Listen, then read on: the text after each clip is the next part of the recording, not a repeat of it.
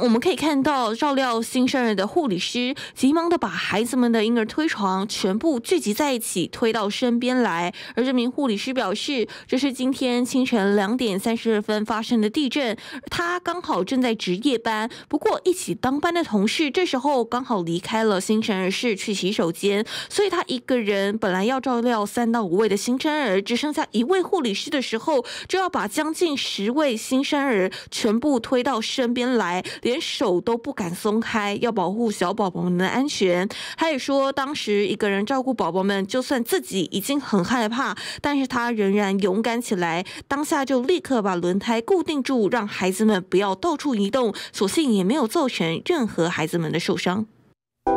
想看最完整的新闻内容，记得下载 TVBS 新闻网 APP。